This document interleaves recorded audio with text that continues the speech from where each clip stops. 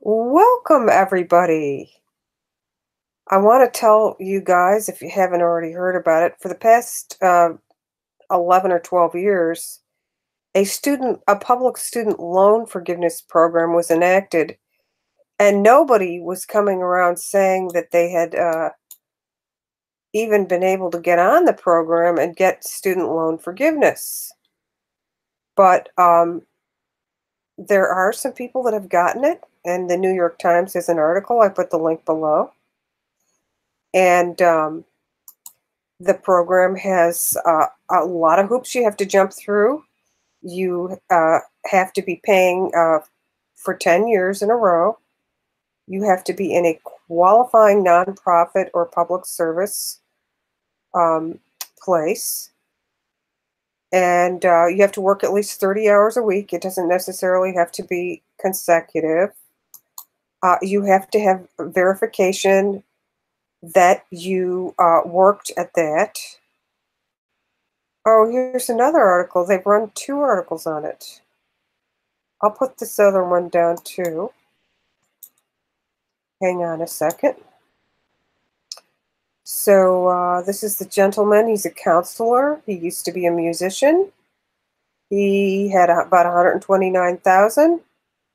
Congress just set aside some money, and um, they're going to start uh, helping students with their, you know, the student loan crisis a little bit. But you know, the program hasn't been around that long, and um, you know, if if you think about it, it was enacted in 2007 so you'd have to have people jumping on the bandwagon right away in 2007 for them to get paid. Um, I just put the link in here. Sh it should be showing up now. Uh, for them to get paid for this student loan forgiveness. And um, so here's the key. Find, uh, well, actually, I put a link below for this. Um, let me see if it's in my history. Um, let's see, show full histories. I'm going to get you the link here in front. Um, see. All right, there should be a. I've got a link to the PDF to apply for it. Um, if it says alert if you may still be eligible for loan forgiveness if your public ser lo service loan forgiveness application is denied because of some or all of your payments were not made under a qualifying repayment plan for PSLF. Learn more about temporary loan forgiveness opportunity, okay? So let's find the, okay, so this is what you need to do. I put this link below. This is the form you need to fill out. Okay, so you have to apply for it. Now you have to consolidate your loans into a direct loan with a qualifying uh, direct loan income-based payment, um, income-based repayment uh, plan. So here's, you read all these points. Here, let's make this bigger. And the link, the link to the article that I just showed you also, both of those articles are under there. So um, here's some key points. 120 qualifying payments. You have to do income-based repayment uh, and you have to be working at least 30 hours a week. And they said it's employed full-time by a qualifying employer or employers. Okay, so employers, you could have more than one in here. And you have to be, okay, I already said number two. Um, it says to qual if I qualify forgiveness, only the remaining balance on my direct loans will be forgiven. In other words, the 10 years of payments that you make on the loans are not going to be forgiven. Just to clarify that, that money is is good money to get rid of the debt. It's a good faith effort to pay off debt. but you're going to be working in a charity or you're going to be working for a non uh, uh, public service where your wages would probably be lower. So you're not going to get rich. It's just going to keep you from going. Um, you know, you you could take a risk and not and and get a higher salary and work in a for-profit business that doesn't do public service. It's up to you. You don't have to do this. Um, but anyway, so if sub by submitting this form, um, okay, the department will notify me, yada, yada.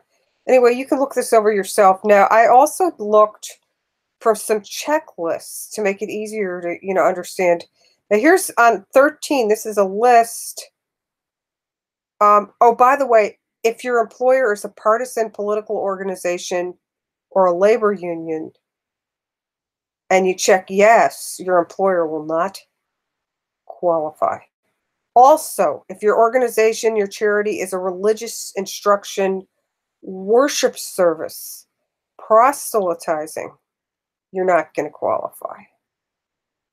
If but you might qualify if you're a religious organization running a daycare. But your work hours, any of your work hours that were spent teaching uh, religion don't count.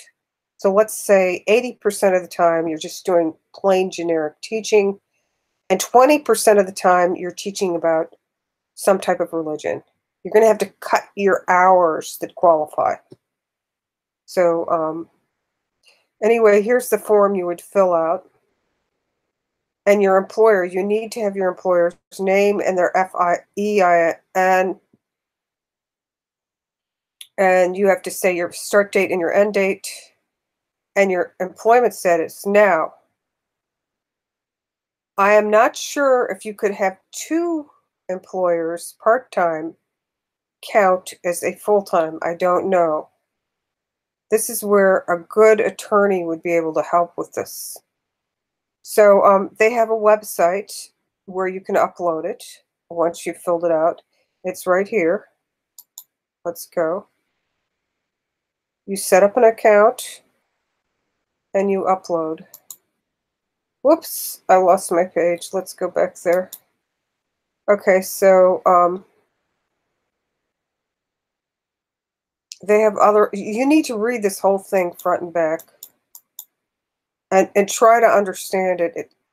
You know, there's no such thing as a free lunch. You're going to actually have to work for this help in charity or in public service to get your loans reduced and make a really good faith effort and you need to you need to follow all the rules they have here and they are giving them out and it takes 10 years to see results but when you file this um, and you put it in there and you ask for review um, from the government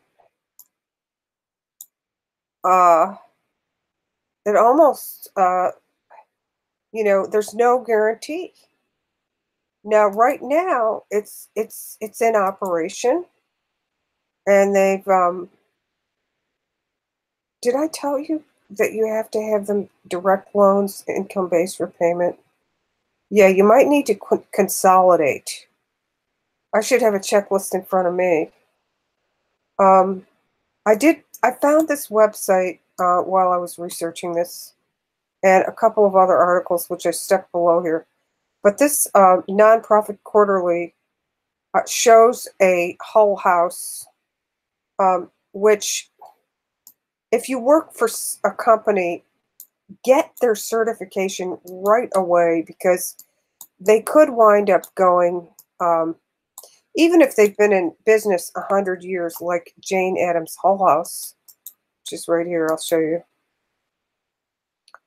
This uh, was in in uh, business for a hundred years, um, and she passed passed it down. And the director, a lot of their their uh, they had a lot of stock, and uh, they went bankrupt. I'm really sad they did. Um, they helped uh, immigrants in the late 1800s, and um, they helped uh, people that were in poor, and um, somebody made a. This is um, Jane Addams herself wrote this, and University of Virginia um, has digital copies of her writings in here. But um, so when you when you go to your business, get their information right away. Get it documented in case they wind up going bankrupt or something. Nonprofits do go bankrupt, they get insolvent because if you go here, I'll show you GuideStar. I took nonprofit uh, governance class in my master's study. And um, I just took, you know, like one uh, class. I, I had to, now, if you ever make donations somewhere, you can look up a business. Um, it might not, let's look up Trump. Here we go. Donald J. Trump Foundation. How much money did he get coming in? Two million nine hundred twenty-nine. How many assets does he have? A little under a million. Okay, here's another one. He's only got one dollar in assets and one dollar in receipts. You know what that is? That's what you call a placeholder. Lawyers will tell you to stick a dollar in as a placeholder, more or less. Sustain Trump athletics, nothing. Trump family trust, empty account, no money, totally bankrupt. Tops at Trump Inc.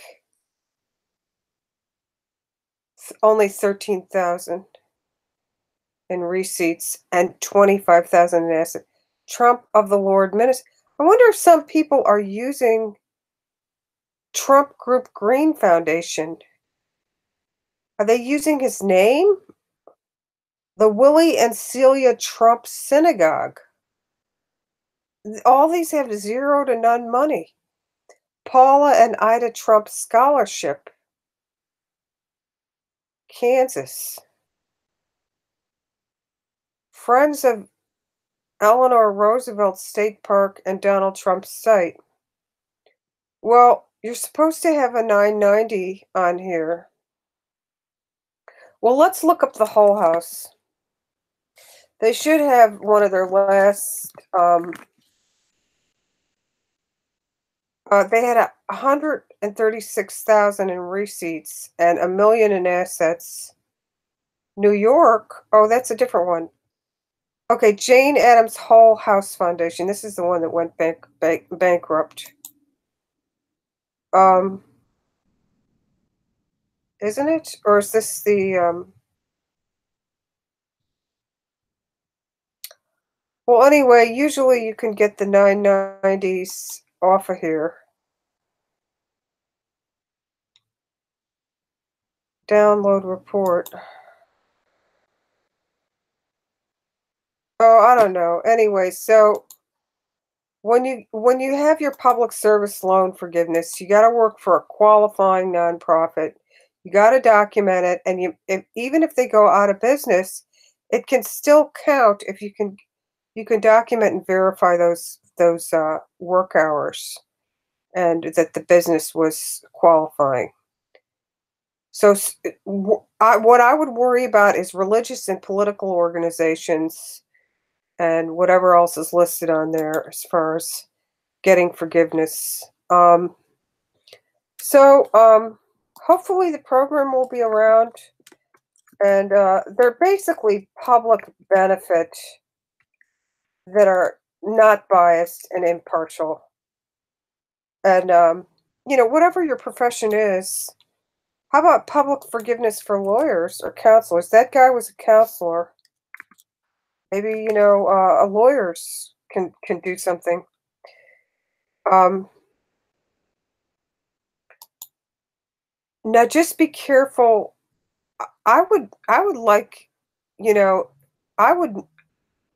I like this guy um, that um, is advocating for student loan uh, reform. Um, did I put did I discuss him at all? Um, this is not him, but I'm going to jump over to him in a minute. Okay, so I'm putting another link below. Um, just so you know. Okay, so student loan uh, forgiveness for lawyers. So let's say you pass the bar and everything. But you know, it's really hard for a lawyer that's newly passed the bar to get a job. I know quite a few JDs that didn't even pass the bar that went to accredited ABA schools. They opened up businesses, um, and you know, I'm like, why didn't you take the bar? And they never told me. But now I kind of realized maybe they did take it and they didn't pass and they didn't want to take it again because it was so expensive. I don't know. Looming student loans, you know, whatever.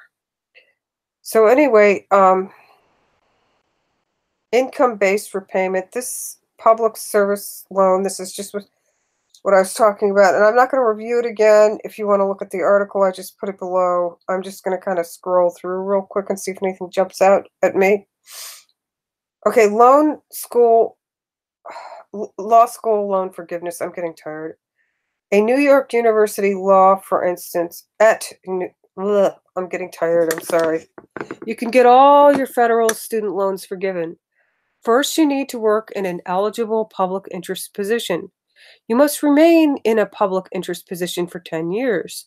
You cannot make more than 80,000 a year. While those are fairly restrictive requirements, it is pretty spectacular. You can become a lawyer without needing to worry about federal student loan repayment. These programs exist at more than a hundred law schools. They are mostly to encourage lawyers to enter public service roles.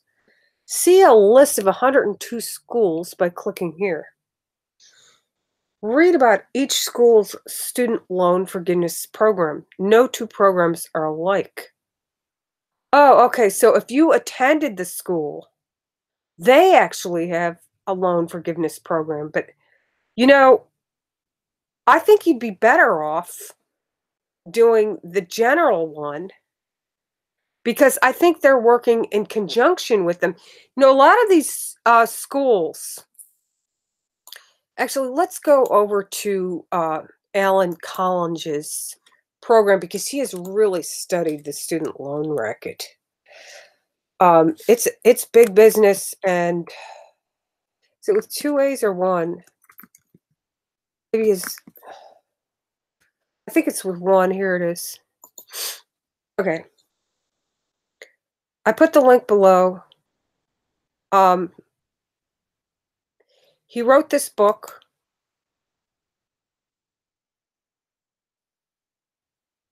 And um, he he um, he studied. He's on top of the law. He has a nonprofit, a 501c3, where he goes around the country and he does um, work toward getting the law changed. Um, but maybe he's going to be in the student loan forgiveness program. I don't know. I don't even know if his business would qualify. His business is um, here. And um, he's um trying to make it his his main focus is right now his concentration focus is allow uh, the student loan debt to be discharged in uh, bankruptcy like a chapter 7 or 13 I, i'm not really sure um, you can always put your student loans in a bankruptcy. That's not the argument it's just that the judges have to follow the rule of law, and the rule of law tells them they really cannot discharge that debt unless the person's dead or um, permanently disabled, not temporarily. Like if you've got cancer, you're going under chemo and you're not dead yet. Good luck with that. Um, so the law uh, he's working on uh see now that's the thing one of the things in there that disqualifies students is uh, from uh, you can't be going to school, by the way, when you're doing this. Okay? You have to be already graduated. You can't start, you have to be in repayment. You have to wait until you graduate. And um, there might be others out there, but I'm talking about the federal. Um, um, and um, so there, there, there could be more than one.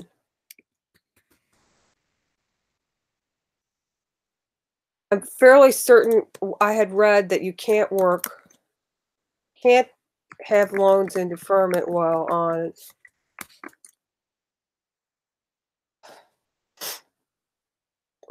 Well, anyway, this this thing is this guy over here has been working um, for gosh, let's see, he's been working a really long time with these student loans and um, where is that student uh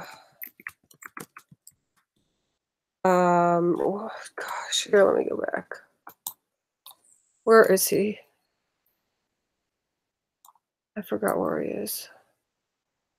That's funny. Why isn't he showing up? Am i stuck on this one page? No i'm not. Okay. Um it's been a long day. Alan Holland Okay. Actually, here he is. He's been on Newsmax, Lions of Liberty, Scared to Debt,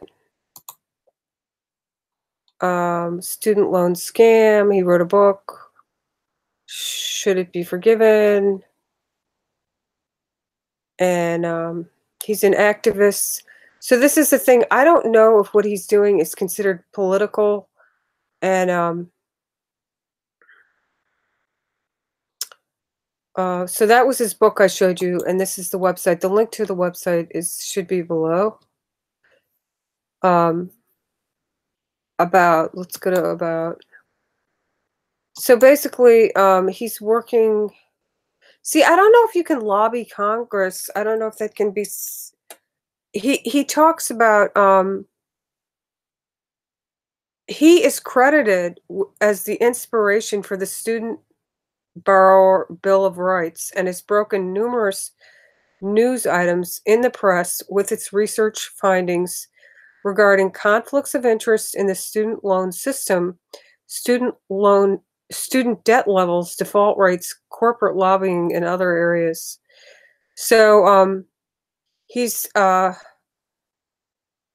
student loan scam in 2009. He was selected as seven financial heroes by CNN Money magazine in 2008. He was featured on 60 Minutes and 2020, New CNBC, and obviously Fox. We saw that Fox and Newsmax thing and the Sons of Liberty.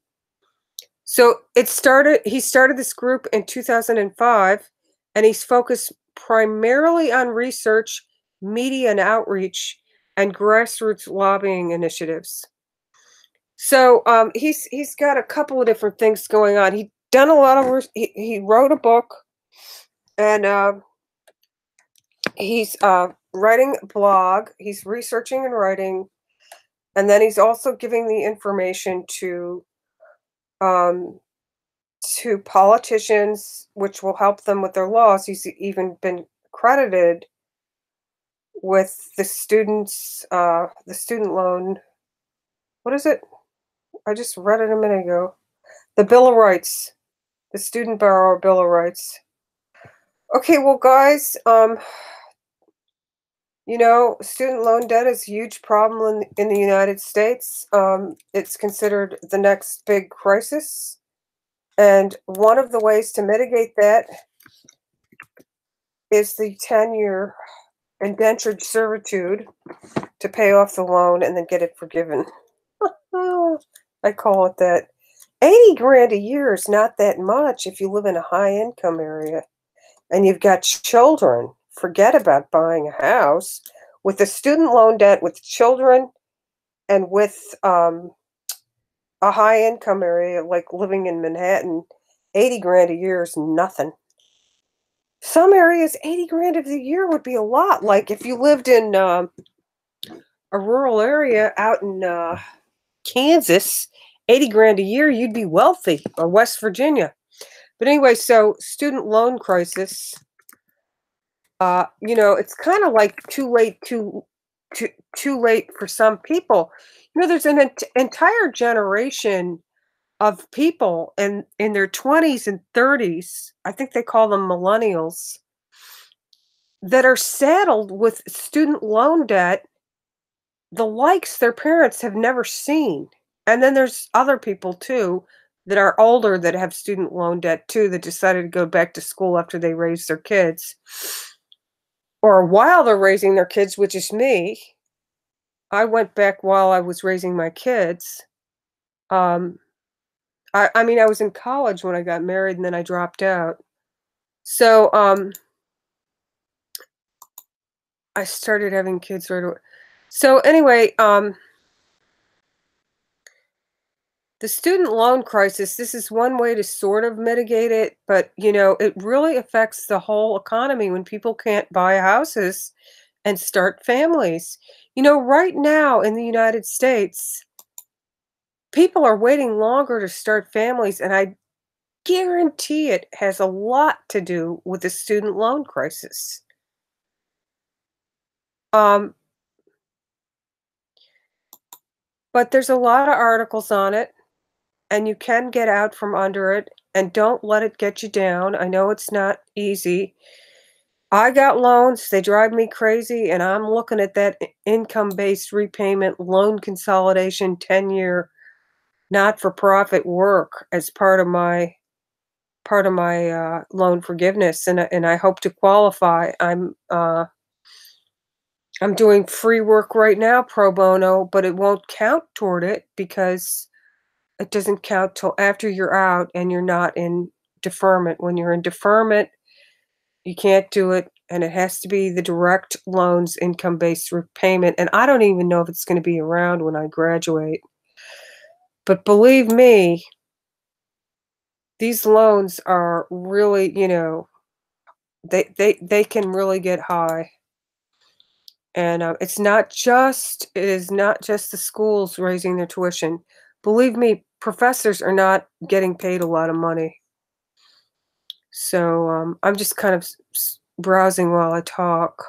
Um, but you know, I really appreciate all my viewers because um, it makes a a huge difference um, to be able to have uh, uh, people point things out to me that I didn't think of and contribute to the conversation on ideas or information that concern all of us. It says it this is a nice article. And you know, it, it's just Sally, if you look at that guy that I was telling you about, the student loans justice.org. I'm going to put this below so nobody has to pause it and go back to get it. Um, where is my window? I'm looking for the right window to find to put the link in. I'm going to close this page. To, okay, here it is. I'm right on that link. So I I can't see if anybody's in the chat box right now because I don't have that page open. And I get feedback and have to turn the volume down if I do that as well. So it's easier for me to not look in the chat box that much. I probably need more experience before I can really do that. So if you if you want if you're chatting amongst yourselves, go right ahead. And by the way, I will close the box when I close this conversation out. I just put the link to this below. And you know what? I'm kind of running out of time. I don't know if you are, but this is something you might want to research and think about is doing um, public service work or charity work if you have loans. Also, if you are a parent and you co-signed a loan, you might want to look into that. Oh, there's one other thing. I think an attorney might be able to help you with that. I'm not really sure, but I had a link below here. Let me go back at my links. Um, Okay, let me look at the links. There's a lady that has a nonprofit, and um, she. Um, oh, I went to.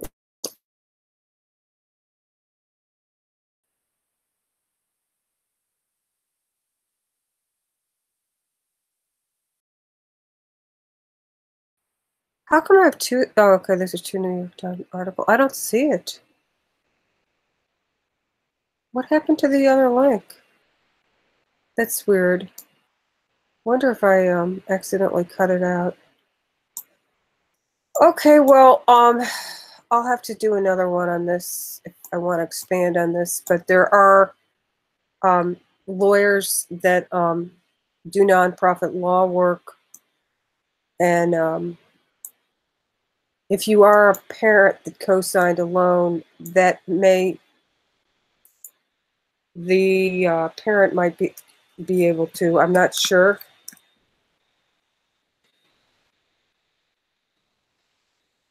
Uh, for loan forgiveness.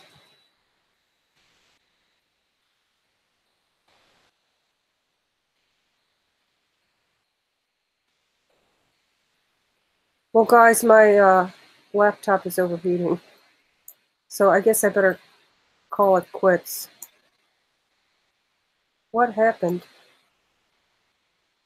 Um, did this just cut out? I didn't even stop the broadcast and it cut out. That's weird. All right, well, guys, something happened. It's cutting out. Um, I love you lots. Thanks for watching. I got to get running.